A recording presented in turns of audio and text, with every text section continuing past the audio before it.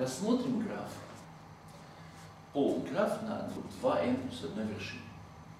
Разумеется, из каждой вершины выходит 2n ребер. А, давайте посмотрим на граф К5. Он состоит из звездочки, из вершины это вот эти вот 5 точек, и, собственно, треугольника. Можно представить себе, что они выкрашены в один цвет стороны, а диагонали выкрашены в другой цвет. Мы получаем разбиение графа К5 на два гамильтоновых цикла. А здесь у нас один гамильтонов цикл. Отлично. Давайте возьмем граф на семи вершинах. Полный граф на семи вершинах.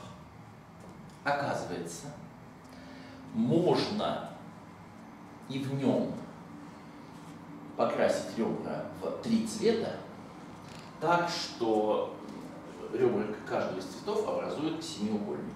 То есть разбить его на три гамильтоновых цикла. Это уже не так просто, хотя, в общем, и не так сложно. Вот первый. Давайте теперь я войду э, через вершину.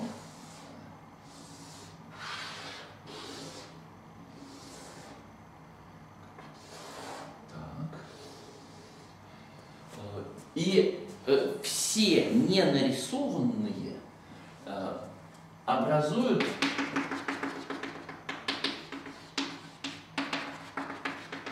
еще один семиугольник.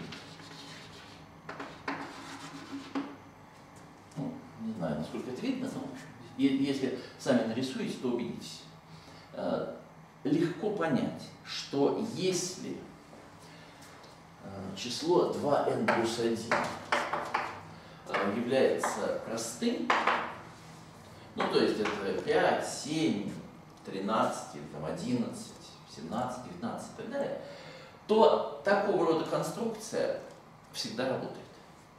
Смотрите, мы э, по окружности ставим вот это самое простое число э, точек, и после этого идем по принципу через сколько-то точек, потом э, через столько же, через столько же и так далее. Поскольку число простое, то замкнемся мы только когда пройдем по всем вершинам. Вот это и будет гамильтонный цикл. Однако оказывается, что полный граф на 2 плюс одной вершине можно разбить на n гамильтоновых циклов всегда, независимо э, простое число 2 плюс 1 или составное. Первый нетривиальный пример – число 9.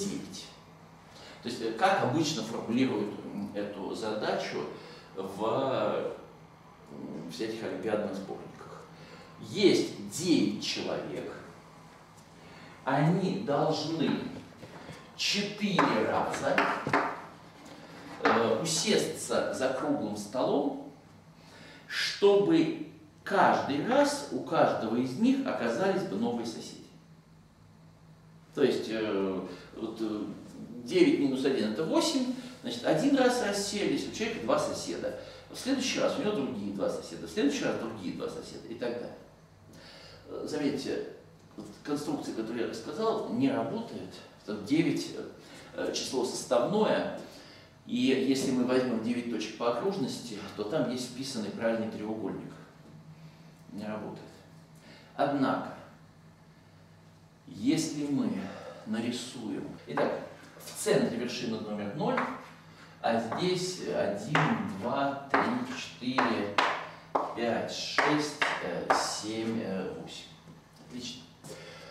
Э, каким образом будем составлять э, Ну, вот как. Э, смотрите, от 0, цифры 0, идем вверх. И после этого проводим все перпендикулярные хорды. Ну, естественно, напротив нуля для единицы значит, через 0, когда проведете, будет диаметр, здесь будет пятерка. Поэтому 0 с пятеркой тоже соединяем. И вот теперь выходим из единицы в двойку, в восьмерку, в тройку. Вот так. Согласитесь, что получился цикл.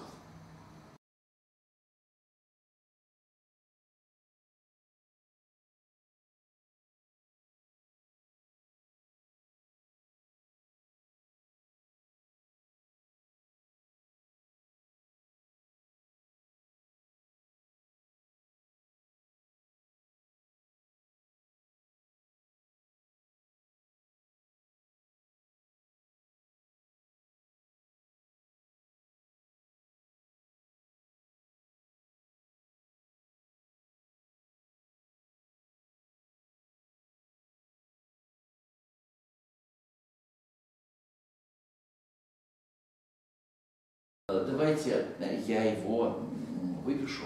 0, 1, 2, 8, 3, 7, 4, 6, 5.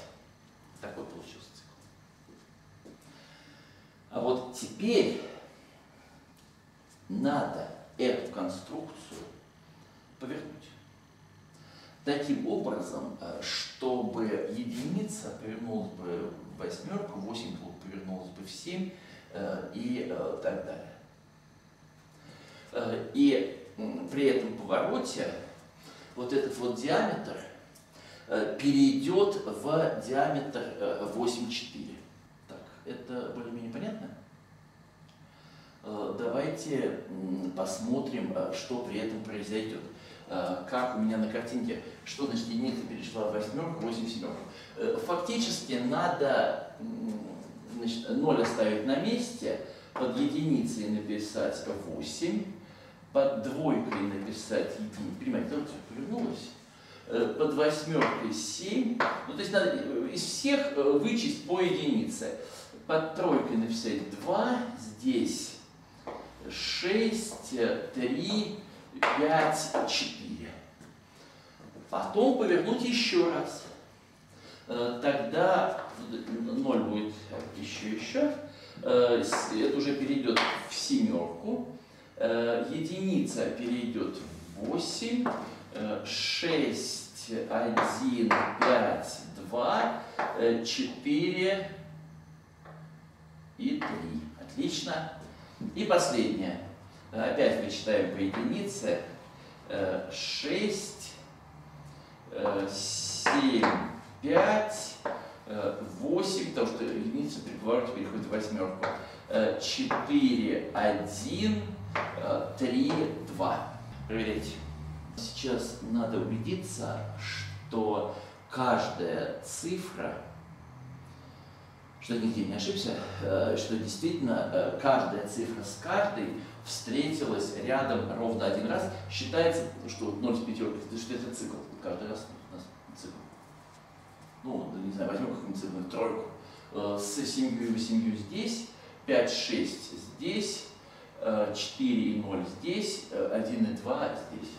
И так далее. В общем, если вы посмотрите на картинку, то более-менее понятно, почему это так все получается. Эм, смотрите, у нас хорды есть двух типов. Э, есть хорды, которые перпендикулярны э, одному из радиусов, ведущих в э, вершину, а есть вот такие. Перпендикуляр дает прямую, которая, проходит через центр круга, но не проходит через вершину. И вот у нас они чередуются. И каждая хорда попадает ровно в одну из таких повернутых картинок. Ну вот, таким образом мы сумели разбить для любого числа, не только простого, но для любого э, нечетного числа, граф э, k 2n плюс 1 на n гамильтоновых циклов.